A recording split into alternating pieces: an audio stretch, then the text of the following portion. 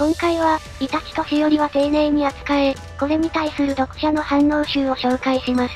チャンネル登録と高評価よろしくお願いします。それでは本編どうぞ。読み返しててなんかちょっと色々面白かったページ貼る。うーん、ふん。この人がこう言うならマジでだいぶ苦労させられたんだろうな。まあ何も言い返せないよね。まだ21歳だから、右下すごいしょんぼりしてるように見える。ふーん。この二人が本気で戦ったらどっちが勝ちだろう。サメもかなり食らいつくだろうけどさすがにスサの悪しいたちじゃないかな。こらじゃないの。そんな嫌味言わなくてもいいじゃん。なんでイタチ戦わなかったのかなというかイタチのが後輩で年下なのに認めて従ってるキサメって面白いな。暁の加入派キサメが後輩だからな。そんなサンドウィッチマンマンの事務所入った高橋秀樹みたいな。この時期のイタチはもう死にかけでサスケ戦に向けて温存中みたいな状況だし。キサメが一人で戦わせてくださいって言ったんじゃなかったっけ？イタチは秒でバフがあまりに大きいのとキサメはチャクラ無尽蔵で長期戦余裕だから案外イタチ負けそう。ただつくよみ決まれば即勝てそうな気もする。この時期のイタチはもう死にかけでサスケ戦に向けて温存中みたいな状況だしキサメが一人で戦わせてくださいって言ったんじゃなかったっけ？キサメ優しいな。優しいよいや本当に。あれイタチって病気だった。っけ失明のこといや普通にもう長くない。お体に触りますよ。兄折で4尾線あった。よ。なかった。よ。無理はイタチさんのお体に触りますから。イタチとキサメさんの会話ってここに限らず全編通してなんとなくじわじわ来るようなやりとり多い気がする。キサメの顔色緑色なのか原作。キサメのセリフの大体は嫌味とかじゃなく本心からだからね。裏切られ続けた身の上で現在もなお忍びタイルを選択して自分が死ぬとこまで計算に入れてるイタチ大好きだからまあサスケは里を潰す。ってなっても黒身丸切り外れるんだけど。久しぶりの里帰りで衝動です。じゃでも、目的考えると生まれふるさ とだからって手抜くなよ。くらい言っても良い場面よね。暁メンバーはちょいちょい愛嬌見せてくるな。このすぐ後にビダラさんのは堪忍袋じゃなくて爆発袋でしょ。てめこらとびー。みたいな会話リモート会議中にして怒られるシーンもあるしな。キサメイタチより後に入ったんだっけ？イタチの元の相棒はザブザの前の首切り包丁の人だったからそう。ヤグラ戦で死んでる。ビワ十三もだいぶ面倒見がいい人だったな。こいつら仲良いよな一緒に団子食べたり。丁重に扱って情が移ったら嫌だしな。里のしわ寄せくらい組だから仲いいのはわかる。茶でもどうですのくだりは兄さんの趣味が甘みどころ巡りだって知ってから見るとさらに味わい深い。エモいな。初出だと上下関係ありそうな感じだったけど最終的に実力も釣り合ってるしキャリア吐きさめの方がずっと上なんだよな。長門が相性良さそうなやつ組ませてるんじゃなかったっけ？あいついっつもコンビ殺すし殺しても死なねえやつつけるか。オロチマルがいた時は相性はちゃんと考えてほしいものねって言われてたっけ？まあそん時はまだメンバー不足だったのもあるけど、ふんごめん。同胞を殺すあの感覚はとても口で言えるもんじゃありませんよねこれで仲良しコンビだったなんて思わないじゃん。キサメさんはこの世界クソだし自分もクソと剣をして悪ぶってるだけの優しいおっさんだから。相性最悪の害だから勝ったけどキサメの強さおかしいよね。チャクラ量とか含めて。弟さんのことは残念でしたね。おのない美獣だからな。青はああなっちゃったけどキサメは今の切り隠れ方が順応できるだろうな。例の魚問答すごいオシャレだと俺は思うんだがどこででもネタにされてて悲しい。双方余計な単語が多すぎてな。普段真面目な奴がボケにマジレスで返された時。水月が絡んできてもちゃんと遊んであげるおじさん。一度でも仲間に手をかけた者はろくな死に方をしないから覚悟しておけ。ならあなたも私もろくでもない人間なんですね。いや俺たちは魚じゃない人間だ。やっぱり話の流れおかしいって。この会話の直前の例知ってる？サメは生まれた時から共食いするんだぜ。っていうキサメの発言を組んで、でも俺たちは魚じゃなく人間だから死ぬまで自分がどんな人間かなんてわかんないよって意味だからそうおかしくないはずなんだ。もうその話兄さんが仲間を殺したらろくな最後じゃないで打ち切ってると思うじゃん。このやりとりで兄さん吐きサメの人となり理解したんだろうしいるといえばいるとしゅう。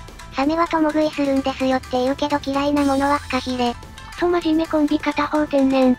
こいつ無駄に物騒な言い回しするだけでいいやつだなこの人冷酷に見えるけど優しいですねかなり天然ですけど。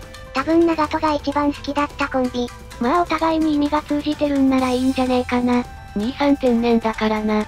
基本常にシリアスなのにイタチ兄さんの天然ボケ感がすごい。ふん納得。いやこれが一番いらんのかなこれがなければだいぶ話が繋がる。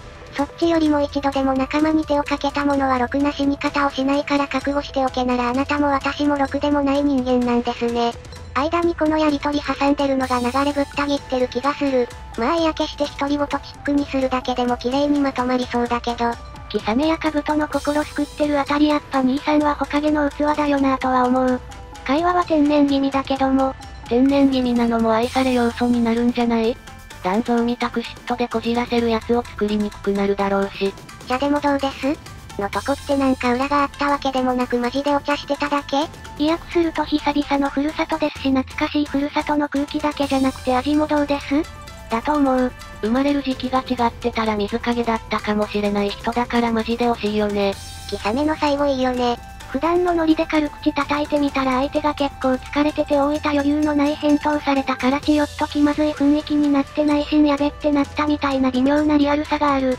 いつものキサメならすみません思ったより手こずってしまってぐらいの返事期待してたんだろうな。仲間殺してにたついてるようなやつだったら体の心配しないわな。サスケがデイダラの自爆に巻き込まれた時これでうちは一族はあなた一人になってしまったって言ってたけど実はお互いまだらをビトと面識あるのが面白いな。お互い隠し事多いし実は目的も一切違うけど波長合うから裏表なしにそれなりに仲は良い独特な関係いいよね。イタチがキャラ作りで傲慢キャラ演じてて本当は優しいのバレバレ。お年寄りは丁重に扱えって言われてるけどサメ肌当ててるのがこっちにとっては一番安全だからな。それでも俺たちは人間だ魚じゃないとかにしとくと自然な感じかな。天然なところ含めてイタチの天才描写うまいわ岸影。長門はオロチマルのことどう思って暁に入れたの？初対面の時殺すとか言ってきたけど、ナルストだと俺がいる限り下手な行動はできないだろうって言って入れてたな。なんか妙なところで面白くなっちゃうのはやはり兄弟だなって。そんな兄弟プラス几帳面眼鏡の合わさったヘビ博士のシーンがシュールで仕方ない。ろくな死に方しないとは言ったけど自分のために共食いしてる魚と違って自分がろくでもない人間かは死ぬ寸前までわからないよって話だけど直前の魚の話を引用し出すからわかりづらくなってる。迷惑をかけてすまんな。キサメフン側近になるルートあっても青とノリが絶対に合わねえ。お互いそれを表に出さない社会性があるから。俺たちは魚じゃないの直前はめちゃくちゃ堅論な雰囲気なのにな。ここでパーフェクトコミュニケーションを叩き出せるから弟以外には完璧な男なんだ。これで別にお互いのことを悪く思ってるわけじゃないから参るね。イタチさん死んだのショック受けてそうだし弟が暁入ってきたのも内心なんか思うところありそう。純粋な水トン使いとしては切り隠れ最強だろうし英雄になれただろうなとどまれてればとどまれなかったからこそのキサメだけど、キサメ的には心を殺して任務遂行してた上司が裏切り者だったんだからあの時はもうそんな視野も持てないボロボロな時期だろうし。本当に酔いずらしだと思ういや天然か？美獣並みのチャクラとか肌の色とか色々おかしいしキサメさんも研究されたらキサメ細胞とか発見されそう。星垣一族はエラついてるっぽい。やっぱ人間じゃなくて魚じゃ？いい人なのが隠しきれてない感じがたまらない。こんな良い人を闇落ちさせるなんて最低だよ内浜だら。仲間とまではいかないけどめちゃくちゃいいビジネスパートナーだよな。サメとイタチってかなり妄想膨らむコンビだけど不女子は食いつかなかったのかな？キサメのビジュアルが良くないか。いや結構食いついてる。結構人気じゃない？日常会話的な感じで嫌味言ったら結構聞いちゃった感じかな。サメいたとか言われてるぞ。ナルト世界割と人間なのか疑わしい体質の人多いよね水月とか。イタチは暁の監視でキサメは夢の世界行きたいから本来は相入れないけど仲良さそうなの好き。兄さんは日常会話部分は口下手な上に割とズバズバ言うか黙ってスルーが基本な上に暁相手にフレンドリーに接する必要もないからキサメが相棒なのはいい組み合わせだよね。他と組ませたら大半の連中切れさせそうだし兄さん。やっぱこいつら面白い。キサメは顔が怖いのも悪い。同族殺しはたまらないですよね。全然関係ないけど抜け人のマーク切り隠れだと絵に当たってなくて面白いな。キサメはメイちゃんと出会えてたらすげえ協力してくれそう。オビトからも信頼と同情寄せられてたよなキサメ。この世界クソっていう同じ思想だからな。メイちゃんは見た目いかついやつからばかりモテてたのかもしれない。さすがにモテてたら結婚も視野に入れるはずだからガチも女だったのでは。地位が高すぎて男の方が遠慮しちゃうんだろう。お人が自分から素顔見せようとしたのが作中だとキサメとアマテラスで燃やされかけたけどサスケだけだったしめちゃくちゃ信頼されてるな。メイちゃん幼馴染とかいればいいけど死んでるだろうしな。アカデミー時代に仲良くなった奴は自分の手で殺すからな。いい男は大体溶けて死んでいくのよね残念だわ。ニビナナビの仮描写はほとんどカットされてるけど実際は結構紙一重な戦いもあったんかね。そこでこのアニオリトンの術かなり保管されているぞ。皆さんは、イタチとしおりは丁寧に扱え、これについてどう思いましたか？皆さんの感想コメントもお待ちしております。チャンネル登録もよろしくお願いします。